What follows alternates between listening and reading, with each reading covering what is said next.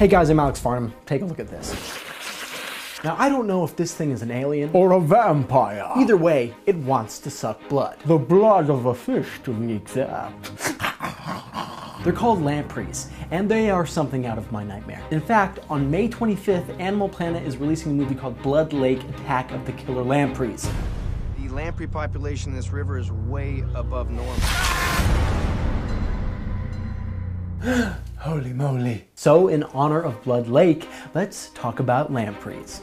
Scary. Now, lampreys are a eel-like jawless fish that can grow over 24 inches long, and they're mostly known for their scary-looking mouth that is lined with rings of teeth. It's kind of like that thing in Star Wars that ate Boba Fett. They're also known for almost wiping out the native trout and depleting the populations of other fish in the Great Lakes during the 1940s and 50s. Now, here's where it gets kind of messy. With these guys killing all those fish, they almost wiped out all the fisheries in the Great Lakes as well. One could say they were literally sucking the life out of the Great Lakes. Uh, that's for the bathroom? I know. Since then, there's now a few methods of exterminating the lamprey. I'm gonna kill you, you little sucker. Lampricide and Bayluscide were chemicals made to put in streams and rivers to kill the lamprey in its larva stage. Goodbye, little guy.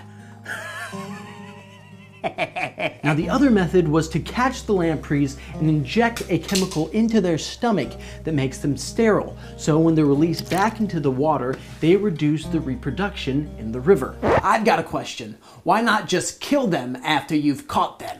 Good question. If you just keep taking lampreys out of the water and throwing them away and killing them, that's cool and all, but they're gonna keep reproducing. This way, you're lowering the chances. You have 100 male sterile lampreys, and then you have 100 male non-sterile lampreys.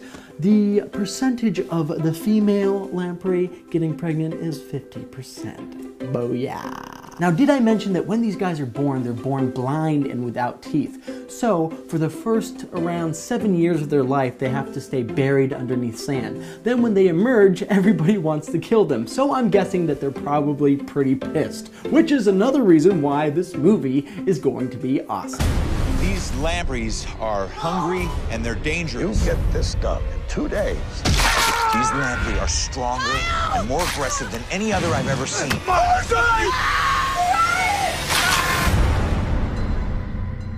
Check out Blood Lake, May 25th on Animal Planet. if you guys could suck blood, what would you do? Let me know in the comments below. Be sure to subscribe, and I'll see you hairy mammals later. Hey, I think you should do an episode about squirrels next time. I think that would be pretty cool. Right? Huh? What do you guys think? Squirrels! Squirrels! Squirrels! Dad, look what I caught! So